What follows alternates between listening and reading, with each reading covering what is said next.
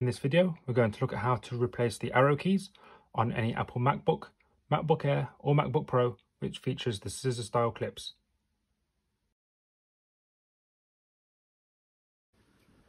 To remove the right arrow, you can insert your key tool under the bottom corner and keep your finger on the left hand side to make sure the keycap doesn't shoot off.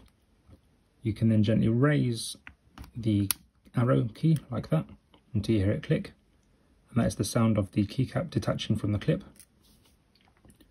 To then completely remove it, you can insert your tool on the left hand side,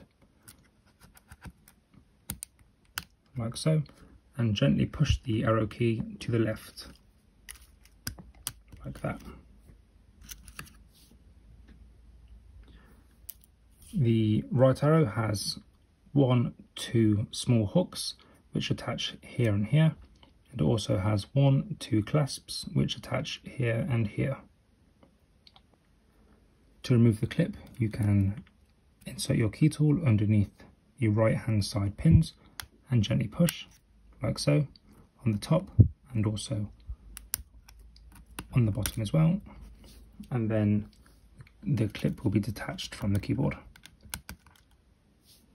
To reinsert the clip, you should first make sure that the clip is the correct way around can see here that we have a square or a rectangle and that is the left hand side of the clip and that attaches to this hook here. So to reattach the clip we can insert it like so making sure that it's hooked on and also slid all the way to the right. You can then apply a small amount of pressure to clip it back into place. Then to reinsert the arrow keycap you should gently raise the right hand side of the clip like so. You'll see that that also raises the left hand side of the clip.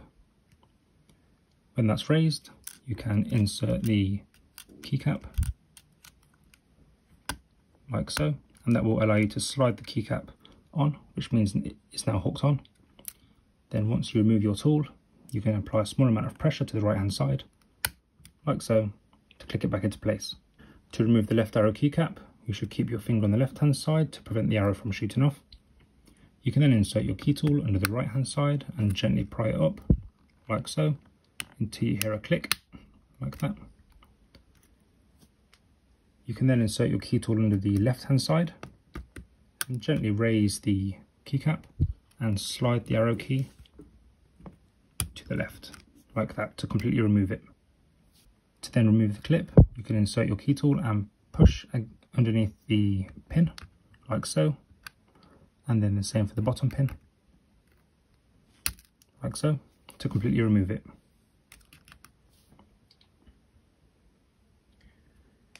When reinserting the clip it's important to make sure that the clip's the correct way around. So this rectangle here goes on the left hand side and attaches to the hook here.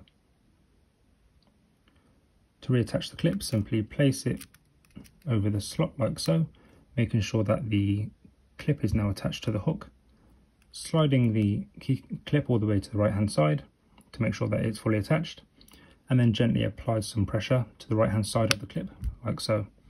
You should hear or feel it click into place. To then reinsert the arrow keycap, you can see here that we have one, two hooks on the bottom left, and also one, two clasps the hooks will attach to these pins here and the clasps will attach to these pins here. So to reinsert it, you should gently raise the clip from the right hand side, like so, and then slide the keycap to the right to hook it on. You can then apply a small amount of pressure to the right hand side of the keycap to click it into place. To remove the up arrow from the keyboard, you can insert your key tool under the left hand side, like so, keeping your finger placed on the right hand side to prevent the keycap from shooting off and apply a small amount of pressure raising the keycap like so to detach it from the clip. You can then insert your key tool under the right hand side like so, raising it up and slide the arrow key to the right hand side to unhook it from the clip below. You can then remove the clip in exactly the same way that was shown earlier on with the left arrow and with the right arrow. To reattach the keycap, you should insert your key tool under the left hand side of the clip, gently raising it. You'll see that the clip on the right hand side also raises. This is what allows us to hook the keycap back in place. You can then apply a small amount of pressure to the left hand side, clipping the keycap back in place. To then remove the bottom keycap, you start on the opposite side, inserting your tool under the bottom right, like so, keeping your finger placed on the left hand side of the keycap, and gently prying the keycap upwards like that. You can then insert your key tool under the left hand side of the keycap, raising it up, and then slide the keycap to the left to completely remove it, like so. You can then remove the clip in exactly the same way that was shown earlier on, with the left arrow and the right arrow. To then reattach the keycap, you can insert your key tool under the right hand side of the clip, which also raises the left hand side of the clip, like so. You can then slide the keycap to the right like that, hooking it on. And then you can apply a small amount of pressure to the right hand side of the keycap, clicking it back into place.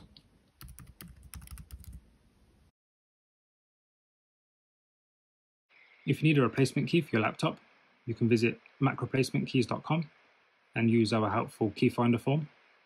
From here you can select your device, in this case we'll put a MacBook Pro. You can then insert your model number, in this case I'll put A1708.